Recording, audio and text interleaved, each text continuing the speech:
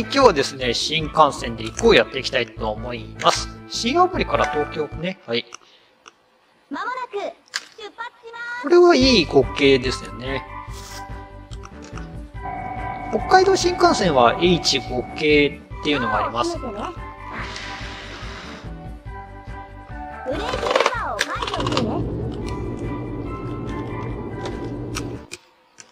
お、2024年11月の11日ですね、今日。ポッキーの日だ。あ、通りでポッキー、なんか結構、スーパー行けばどこにでも売ってるもん。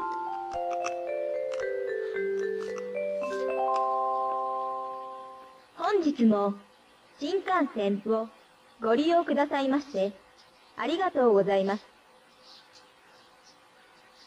Ladies and gentlemen, welcome to the Shinkansen. Thank you. ちゃんとね、こういうアナウンスがあるそう、ポッキーの日だもんね。ポッキーの日が近いからあれか。スーパー結構ポッキータワーじゃないけど、結構ポッキー、セールで売ってんだよ。でもね、セールで売ってるって言っても、税込みで160円だもんな。前もっと120、30円で買えたような気がするんだけど。岩手さん。この、いい5系っていうのもなんか上品だよね。上品な車両だよ。あ、これ連結するのかね？これ、盛岡で。なんか連結して走る時もあったような気がする。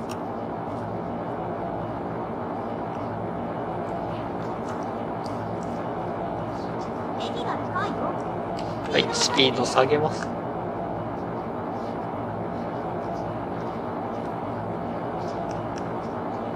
確か連結、秋田小町と連結して、確か盛岡では。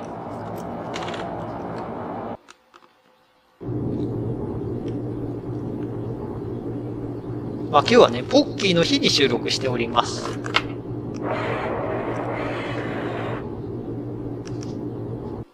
ごいぞ11月11日っていう。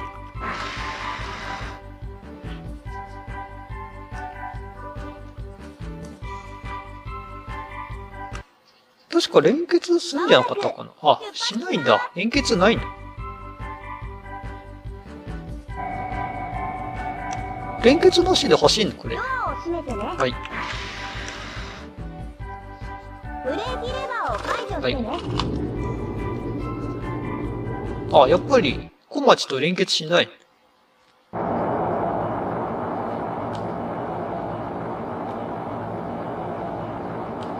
あ、320キロ。この車両がさ、デデビューしたのって2011年の3月じゃない？さあ、これからデビューっていう時、デビューって時に震災ね、ありましたからね。震災が起きるちょっと前に買い、走り出したんだっけ？なんかね、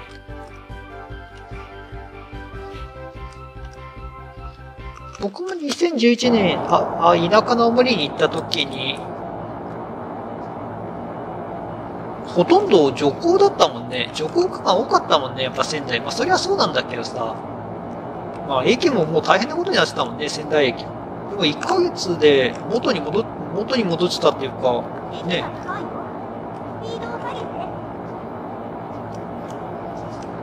もう駅もなんか、すごい修復されててね。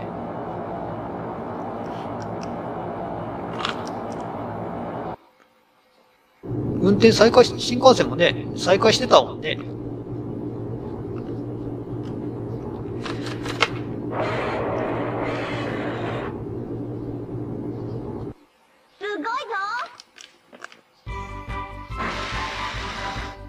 これはまだ、この、このゲームが発売された時は、北海道新幹線はまだ開業してないのかな ?2016 年ぐらいに発売されたやつだまもなく出発しますでもこういうゲームもなんか子供向けのゲームで出なくなっちゃったよね。やっぱプラレールの方がいいのかね？ドアを閉めてね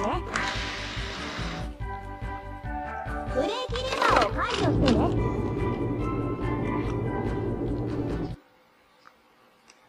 プラレールの方がいいかな。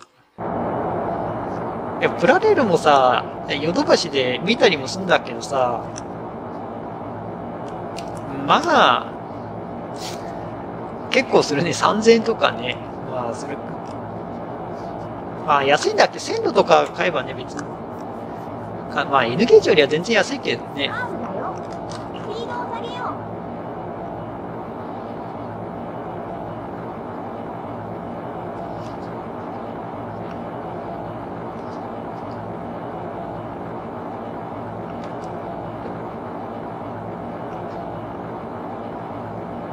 そう、子供生まれた時とかね、N ゲージやってるとさ、ゆ、な、譲るは、まあ、譲れなくもないけどさ、子供に N ゲージ与えても、価値がわかんないからね。で、メンテナンスもしなきゃいけないじゃん。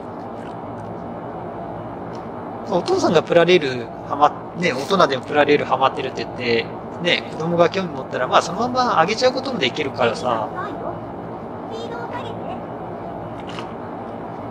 プラレールにはまっといた方がいいんだけどね。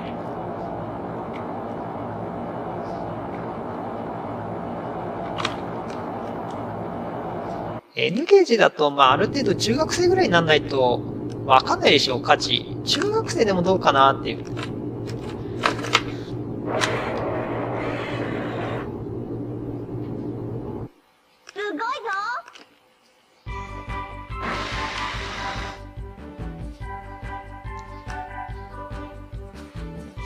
高校生でもどうかなって、やっぱり社会人になってからかなっていう N ゲージは。学生だとね、ちょっと金、金かかるからさ、N ゲージも。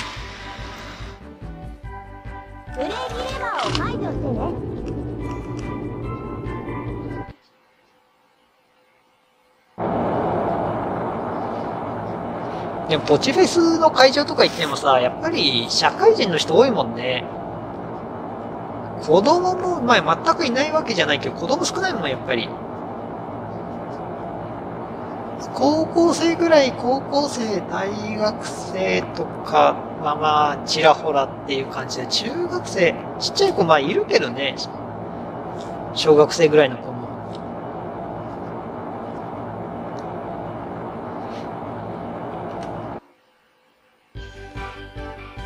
女の人ってあんまいないんだよね。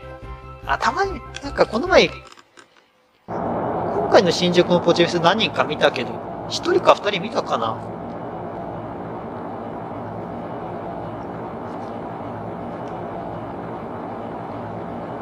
女の人は全然ポチフェスで見ない。全く見ないね。駅が近いよ。スピードを下げて。ね女性の鉄道系 YouTuber 増えてきてるけど、やっぱ N ゲージ YouTuber ってなかなか、いないもんね。で女性で N ゲージ鉄道模型 YouTuber 出たらさ、そりゃ、いいよね。絶対再生回数稼げる。それで顔出しでね。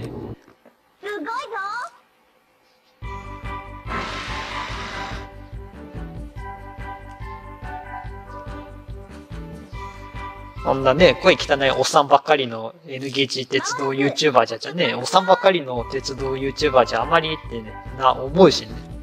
そうやったら女の子の方がいいよ。全く鉄道、あの、模型の知識なくても。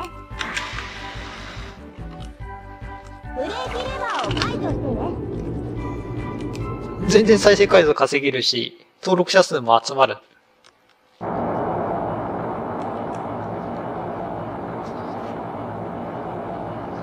まあでもある程度鉄道の知識はね、まあ5段階評価だったら3ぐらいはあった方がいいのかな。そしたらまあ、絶対もう、手堅く、再生回数とかね、登録者数とか、全然伸びると思いますけどね。これ終点って確か、アナウンス流れないね。間もなく東京ですって。列車が来るよ。あ、あれもなんか、ジャンクセットで2万円ぐらいで売ってたな。ホビーランドコーチだっけ。でもあの車両もなかなかね、だんだんでも出回んなくなってきてる。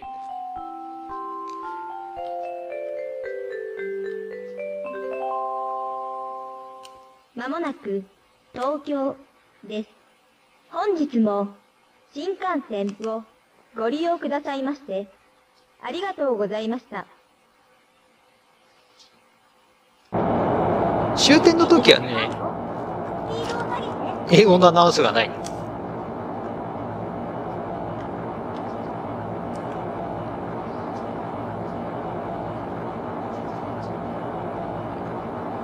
やっぱなんかね、ビルが多いね、東京だと。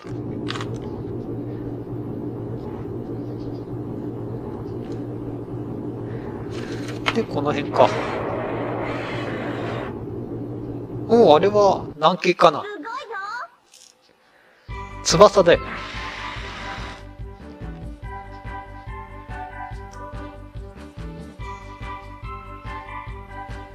これで終わりだ。おめでとうあ、ありがとう。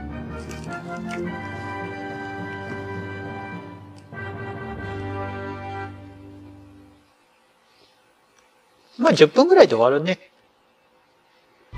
に追加されたよはい、ということでね、ということでこんな感じで終わりにしたいと思います。ありがとうございます。